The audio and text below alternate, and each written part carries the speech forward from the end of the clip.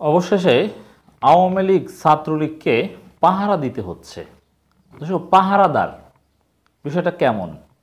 হ্যাঁ আওয়ামী লীগ ছাত্রলীগ এতটা আতঙ্কের মধ্যে আছে, এতটা ভয় আছে বাংলাদেশের রাজনীতিতে, তাদেরকে এখন পাহারাদারের ভূমিকা পালন করতে হচ্ছে। অথচ পাহারা দেওয়া এটা সিকিউরিটি গার্ডের কাজ এবং আইনশৃঙ্খলা রক্ষাকারী বাহিনীর কাজ। তাদের সহযোগিতা করার দায়িত্বে আছে আনসার বাহিনী। কিন্তু ছাত্রলীগকে সেটা করতে হচ্ছে ছাত্রলীগকে পড়াশোনা বাদ দিয়ে এখন পাহারা দিতে হচ্ছে। আর আওয়ামী লীগকেও আগামী পাঁচ বছরের জন্য এখন পাহারাদার হতে হচ্ছে এবং আওয়ামী লীগ নিজেরাই সেটা ঘোষণা দিচ্ছে। এটা তাদের আতঙ্কজনক অবস্থার একটা প্রমাণ, সুস্পষ্ট প্রমাণ। দর্শক, মাননীয় পররাষ্ট্রমন্ত্রী একটা বক্তব্য বিশ্লেষণ করব আজ উনিশ মার্চ চব্বিশ। আগামী পাঁচ বছর দেশে পাহারা দেব। হ্যাঁ আমরা তো দেখে আসছি যে আগে থেকেই পাহারা দিচ্ছে। যেমন বিএনপি কোনো কর্মসূচি দিলে তার পাল্টা কর্মসূচি দিত। সেই পাল্টা কর্মসূচি দিয়ে কী বোঝাতো? যে আমরা পাহারা দিই, যে কোনো নাশকতা করে কিনা। মজার একটা ঘটনা ঘটেছিল কিছুদিন আগে রাজশাহী বিশ্ববিদ্যালয়ে গণ ইফতার আয়োজনে। প্রথমে ছাত্রলীগের পান্ডারা বাধা দেয় গণ ইফতারে, যে গণ ইফতার হবে না। তারপরে বলে, কেন হবে না? বিপুল সংখ্যক শিক্ষার্থী তারা করবেই। তারপরে ছাত্রলীগের সিনিয়র নেতারা এসে কথাবার্তা বলে এক পর্যায়ে গণমাধ্যম কর্মীরা প্রশ্ন করলে তখন বলে যে, আমরা পাহারা দিই, যে এখানে কোনো শিবির আছে কিনা নোমানির মৃত্যুবার্ষিকী এর মানে পাহারাদার হিসেবে তারা ওই ইফতারে অংশগ্রহণও করেছে, ইফতার খেয়েছেও। ছাত্রলীগকে পাহারা দিতে হচ্ছে বিশ্ববিদ্যালয়ে। এবং মজার বিষয়, আমার প্র্যাকটিক্যাল এক্সপিরিয়েন্স থেকে বলছি, আমরা যখন ঢাকা বিশ্ববিদ্যালয়ে শিক্ষার্থী ছিলাম, তখন মাঝে মাঝে শিবির এবং ছাত্রদল গুজব ছড়াতো। ক্যাম্পাসে যে, আজকে শিবির ঢুকবে, আজকে ছাত্রদল ঢুকবে। অথচ ঢোকার কোনো বাস্তব পরিকল্পনা তাদের ছিলই না। যার ফলে কি হতো, ছাত্রলীগ ফজরের নামাজের পর থেকে, নামাজ তো আর পড়তো না, দু একজন নামাজ পড়তো, ফজরের পর থেকে তারা ক্যাম্পাসের বিভিন্ন প্রবেশ মুখে পাহারা বসাতো। এর মানে এখন থেকেই শুধু পাহারাদারের ভূমিকা পালন করছে না, অনেক আগে থেকেই এই ছাত্রলীগ, আওয়ামী লীগ তাদেরকে পাহারা দিতে হচ্ছে। কেন পাহারা দিতে হচ্ছে? গণতন্ত্রহীনতা বলে, গণতন্ত্র নেই বলে। গণতন্ত্র থাকলে, ভোটাধিকার থাকলে, জনগণের ভোটে ক্ষমতায় আসলে এ ধরনের পাহারা দেওয়ার কোনো প্রয়োজন হতো না। পাহারা দেওয়ার জন্য আনসার, পুলিশ, র্যাব, বিজিবি তারাই যথেষ্ট। আওয়ামী লীগ ছাত্রলীগকে ছাত্রলীগকে পড়াশোনা বাদ দিয়ে এরকম পাহারা দেওয়ার কোনো প্রয়োজন ছিল না। মাননীয় মন্ত্রী বক্তব্যটা একটু বিশ্লেষণ করি। পররাষ্ট্রমন্ত্রী এবং আওয়ামী লীগের যুগ্ম সাধারণ সম্পাদক ডক্টর হাসান মাহমুদ বলেছেন, পরপর চতুর্থবার সহ পাঁচবার জনগণের ভোটে নির্বাচিত হয়েও আওয়ামী লীগ আত্মতুষ্টিতে ভুগবে না। যেভাবে ভোটের বাক্স পাহারা দিয়েছি, রাজপথে পাহারা দিয়েছি, সেভাবে আমরা আগামী পাঁচ বছর দেশ পাহারা দেব। ভোটের বাক্স পাহারা দিয়েছি কীভাবে? মানে পাহারা দিয়ে তারপরে ইচ্ছে মতো সিল মেরেছে। এই, এর অর্থ আমি এটাই করব। তারপরে পাঁচবার বা এতবার ক্ষমতা এসেও আত্মতুষ্টিতে ভুগবেন আচ্ছা আত্মতুষ্টিতে ভোগার মতো কোনো গ্রাউন্ড তো নেই, কীভাবে ভুগবে? এখানে তো জনগণের ভোটে ক্ষমতায় আসেনি। জনগণের ভোটে ক্ষমতায় আসলে আত্মতুষ্টিতে ভোগার অনেক কিছু ছিল, গর্ব করার অনেক কিছু ছিল, কিন্তু সেই সুযোগ নেই। আর পাহারা দিতে হচ্ছে, রাজপথে থাকতে হচ্ছে, কারণ আতঙ্ক আছে। যুক্তরাষ্ট্র, ইউরোপীয় ইউনিয়ন, তারা নির্বাচন নিয়ে যে চূড়ান্ত প্রতিবেদন দিয়েছে, এটাকে কোনো নির্বাচনেই বলেনি। ওই দামি নির্বাচনের মতোই। এবং শ্রম অধিকার সহ নানান বিষয়ে বিশ্বের যে দৃষ্টি গণতান্ত্রিক বিশ্বের সভ্য দেশগুলোর যে দৃষ্টি, তাতে যে কোনো সময় কোনো কঠিন পদক্ষেপ নেওয়া হতে পারে। অতএব সজীব অজের জয় খেপেছেন যুক্তরাষ্ট্রের বিরুদ্ধে, পররাষ্ট্রমন্ত্রী খেপেছেন, এখন পাহারা দিতে হচ্ছে। ডক্টর ইউনুসের সাথে, খালাদা জিয়ার সাথে যা করছেন, তাতে তো পৃথিবীর সভ্য দেশগুলো চরম ক্ষুব্ধ। তারা যে কোনো সময় স্যাংশন বা যে কোনো পদক্ষেপ নিতে পারে। অতএব পাহারা তো দিতেই হবে। তো পাহারা কেন দেন সেটা তো আমরা বুঝি। একটা প্রোগ্রামে বক্তৃতার দিতে গিয়ে তিনি কথা বলেন। ডক্টর হাসান মাহমুদ বলেন, বিএনপি নির্বাচন প্রতিহত করতে গিয়ে জীবন্ত মানুষ পুড়িয়েছে, ট্রেনে আগুন দিয়েছে তবু নির্বাচন প্রতিহত করতে পারেনি। না, বিএনপি এ কাজ করেছে, এটা কি প্রমাণ হয়েছে নাকি?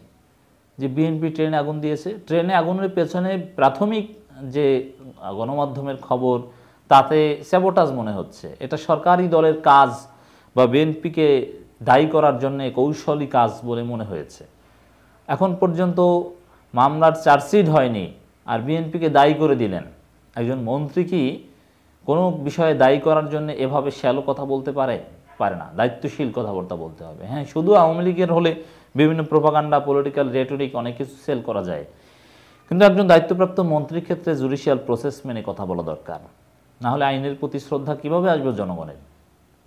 ট্রেনে আগুনের বিষয়ে মামলা হয়েছে, মামলার পর পুলিশ তদন্ত করবে, তদন্ত কমিটি হয়েছে, তারা তদন্ত প্রতিবেদন জমা দিবে, সেই চার্জশিট তদন্ত প্রতিবেদন গৃহীত হবে কি হবে না সেটা আদালত সিদ্ধান্ত দিবে। তারপরে গ্রহণ করলে তার উপর শুনানি হবে, নিম্ন আদালত রায় দিবে, তারপর আবার আপিল হবে, হাইকোর্ট রায় দিবে, হাইকোর্টের রায়ের বিরুদ্ধে আবার আপিল হবে, রিভিউ হবে, তারপরে বলা যাবে যে অমুকে দায়ী। তার আগে তো এভাবে এত স্পর্শকতার বিষয়ে এভাবে বিএনপিকে ঢালাওভাবে দায়ী করা যায় না। এটা নিঃসন্দেহে অন্যায়। আমরা নিন্দা জানাই। এবং তার উপর ভিত্তি করে বিএনপিকে একেবারে ডিমোরালাইজ করার চেষ্টা করা হচ্ছে। চমৎকার, সুষ্ঠু, শান্তিপূর্ণ নির্বাচন হয়েছে। বিশ্বের আশিটি দেশ, বত্রিশটা আন্তর্জাতিক সংস্থা প্রধানমন্ত্রী পুনরায় নির্বাচিত অভিনন্দন জানিয়েছে। দেখেন, এই কথাটা বারবার বলি। কয়টা দেশ অভিনন্দন জানিয়েছে, এটা সেল করতে আওয়ামী লীগ বাধ্য হচ্ছে।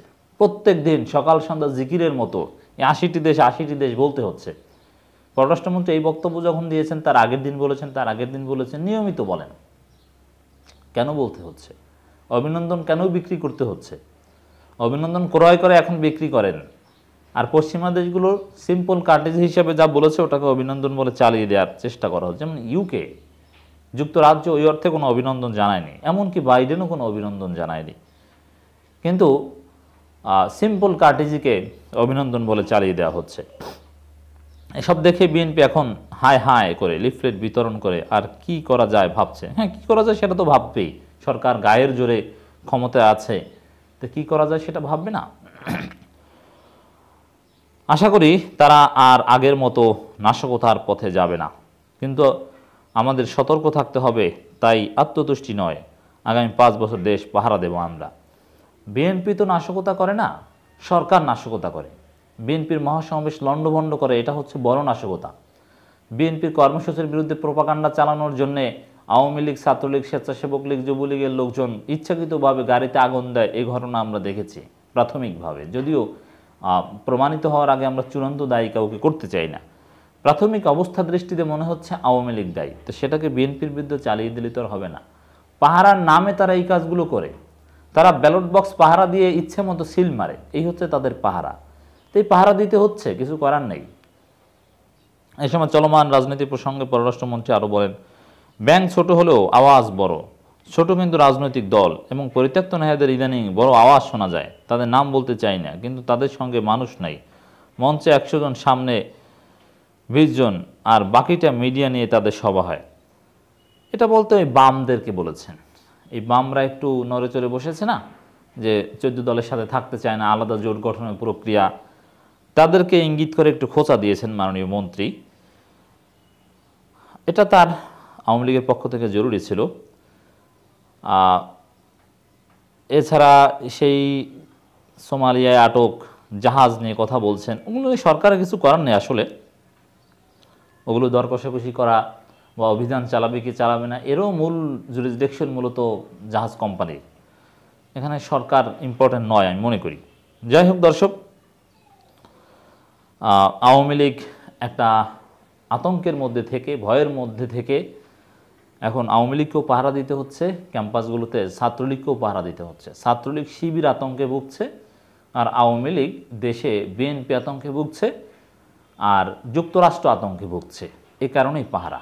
তাহলে তারা কি পাহারা দিবে না? হ্যাঁ পাহারা দিবে। তাদেরকে তো আর কেউ ঠেকাতে পারবে না, তারা যা ইচ্ছা তাই করবে ক্যাম্পাসে। কিন্তু এই পাহারায়, এই পাহারা হচ্ছে জনগণের উপর নির্যাতন, জনগণের অধিকার হরণ, জনগণকে নির্যাতনের ভিন্ন কৌশল। কীভাবে? এই পাহারার নামে বিশ্ববিদ্যালয় শিক্ষার্থীদেরকে তারা হয়রানি করে, তারা পিটায়, তারা তুলে নিয়ে যায়।